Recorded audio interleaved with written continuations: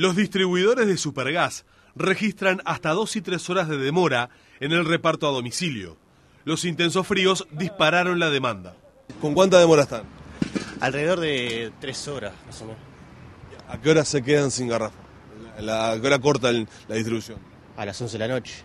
Ahora la gente está con el frío pidiendo mucho, ¿no? Demasiado. Hay una cantidad de pedido enorme.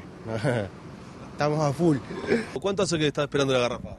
Eh, llamamos a las 3 de la tarde y son 4 y 25. Bastante rápido. Bastante rápido, la verdad que ha sido un servicio rápido. Me dijeron 3 horas de demora.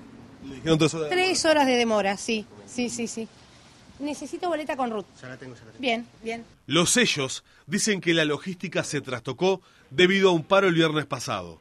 Desde el sindicato de Fuesis aseguran que el tema radica en que las empresas no reforzaron la plantilla de personal para la zafra invernal.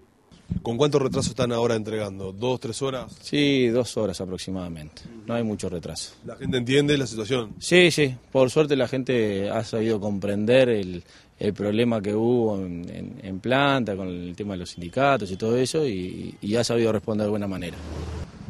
¿Intentaste llamar por lo menos o te largaste directo? No, me vine directo ya esta vez. Eh, vine derecho nomás. ¿Ayer, ayer, ayer probaste? Ayer también tuve que venir derecho, estuve como 45 minutos llamando y no, no, nada, vine derecho también. ¿Está asegurada la calefacción hoy? Está pronto, todo seguro. ¿La comida ya estaba segura? Ya estaba, que pase bien, chao.